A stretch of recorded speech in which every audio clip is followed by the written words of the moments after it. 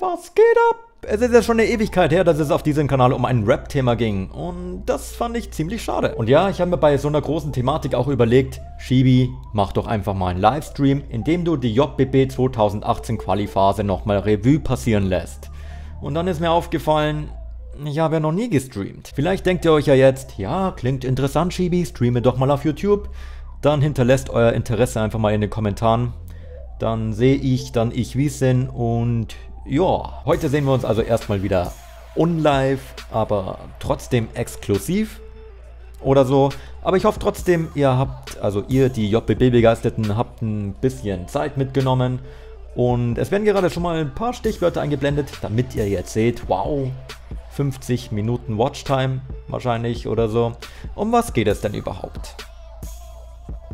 Es gab ja um das JBB 2018 viel Terrain, denn so wie die ganze Quali-Runde lief, ja, hat sich das JBB wahrscheinlich keiner vorgestellt. Ich habe auf meinem Rap-Kanal immer kurzatmig meine Einschätzung zu den Teilnehmern gegeben, Kanal in der Infokarte, aber recht mehr habe ich dann eigentlich nicht thematisiert, obwohl ich bei der ein oder anderen Sache doch immer mal wieder am innerlichen Explodieren war.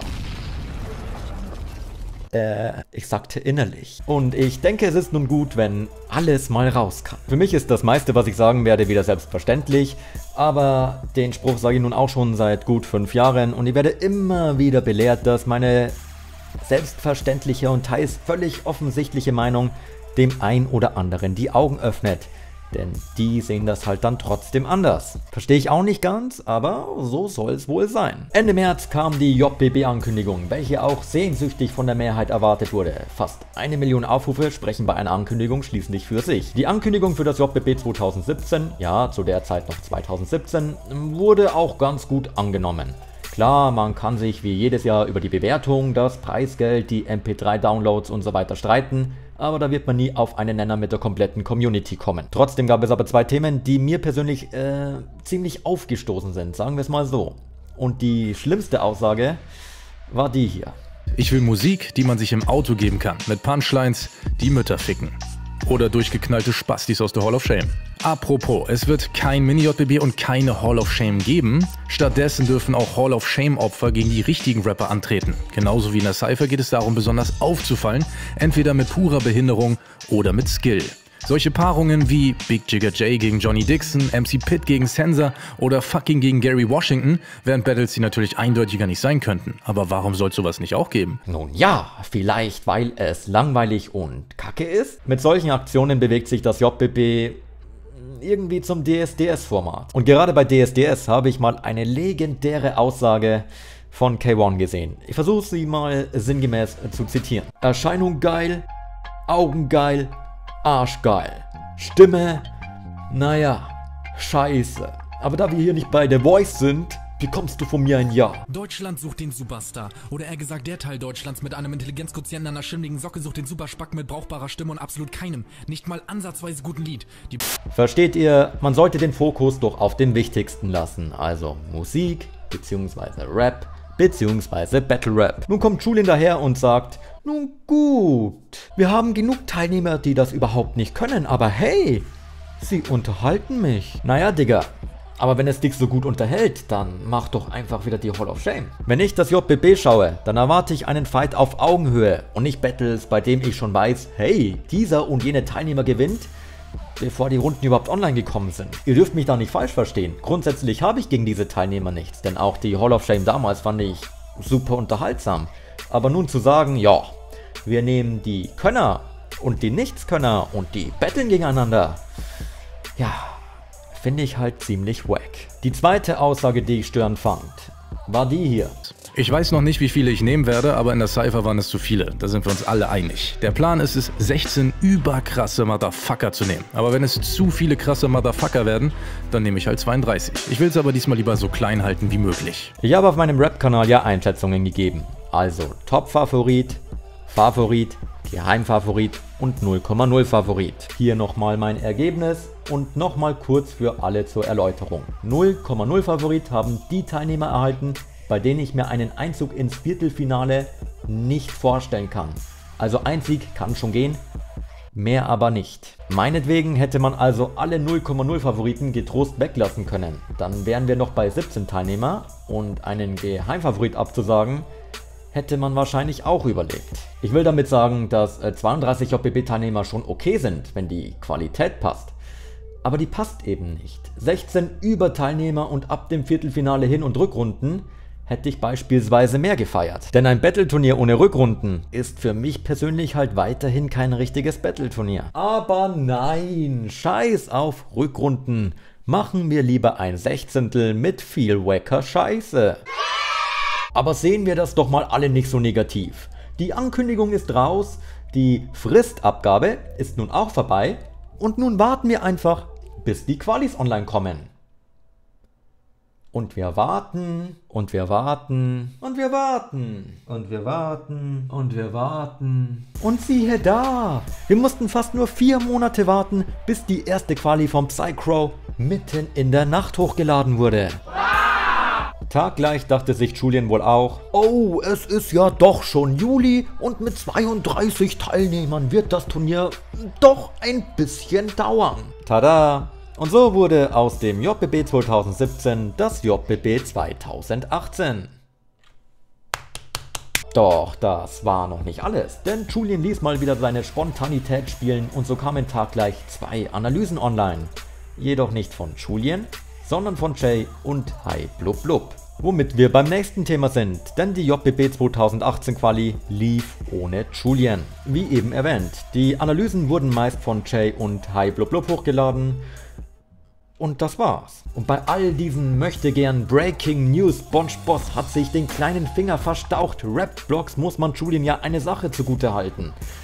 Er hat sich die zwei besten ausgesucht. Aber Julian hat eben einen entscheidenden Fehler gemacht, denn er hat die beiden genommen und den Zuschauer einfach aufs Auge gedrückt. Es hieß nicht, hey Leute, ich habe aktuell keine Zeit oder keine Lust auf Analysen, das machen nun andere. Nein, es war einfach, friss oder stirb. Dementsprechend hoch war der Unmut, denn nicht jeder, der einen Julians Blog erwartet, aber dann einen Hype Blub Blub oder Jay bekommt, ist damit zufrieden. Ich meine, Julians Blog Battle hat ja über eine Million Abonnenten und er hat einiges an Fremdcontent hochgeladen. Aber trotzdem hat diese Aktion einen Jay nicht den ultimativen Push gegeben. Jay hatte vor seinem ersten Upload auf dem JBB-Kanal etwa 27.000 Abonnenten. Und da finde ich es schon erschreckend, dass er durch den JBB-Hype seine Aboanzahl nicht mal annähernd verdoppeln konnte. Wie gesagt, wir reden hier von einem Push, der von einem Kanal mit eine Million Abonnenten ausgeht. Natürlich profitiert ein Jay völlig zu Recht auf ganzer Linie, aber das Ausmaß hält sich in Grenzen. Und da kommen wir zum springenden Punkt. Klar gibt es eine Zielgruppe von Leuten, die sehen möchten, hey, wie ist die Meinung von YouTuber XYZ zu den Qualifikationen? Aber Fakt ist nun eben auch, dass sich die meisten nur für die Meinung von Julian interessieren. Weil der macht es halt auf seine Art und Weise. Der sagt nicht nur, Shibi ist der beste YouTuber auf der Erde. Nein, er sagt, Shibi der Hurensohn ist der beste verkackte YouTuber auf dieser Erde. Auch wenn er aussieht wie eine Kreuzung aus Hurensohn und Bastard, welche man gerade ins Gesicht geschossen hat. Yeah. Und letzteres empfindet eben genau auch der junge Zuschauer für verboten und dementsprechend auch für viel unterhaltsamer als normale Kritik. Hey, der ist eigentlich ganz sympathisch. Ja, das reicht aber nicht. Deswegen sehen wir in den Trends meistens eben Leute, die total am Rumspacken sind. Denn den Kindern gefällt es eben. Es ist unterhaltsam. Ich verstehe es auch nicht immer. Dass Julian die Analysen anderen überlassen hat, ist überhaupt nicht schlimm. Aber er hätte sich und vor allem auch den anderen YouTubern einen Gefallen getan, wenn er es vorher einfach angekündigt hätte. Ich meine, ein kleines Statement auf Facebook hätte doch gereicht. So gab es von den Zuschauern eben viel Hate, weil einiges anders lief, beziehungsweise nicht so wie erwartet. Passend dazu muss ich euch kurz erzählen, was ich da am schlimmsten fand. Und zwar war das ein Video von Reportagen, welches nach einigen Qualis hochgeladen wurde. Also ich habe zuvor schon ein, zwei Videos von ihm gesehen und dachte mir, ja, ziemlich nicer Dude.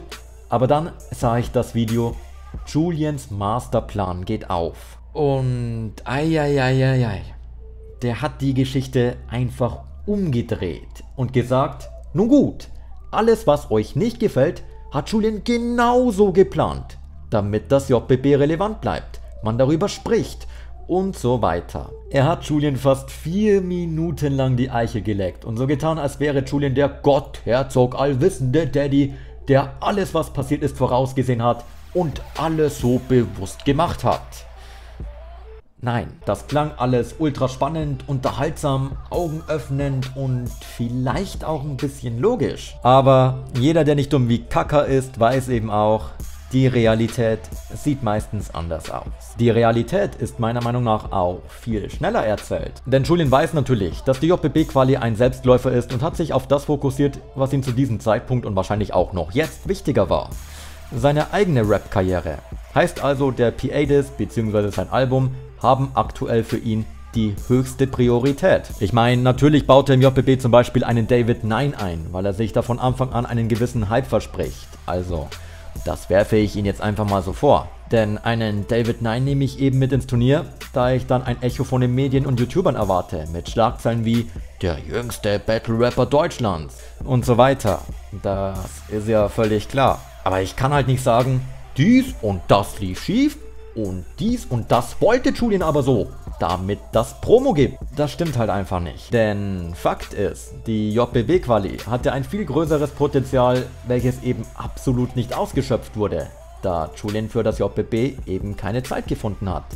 Klingt unspektakulär, ist aber so.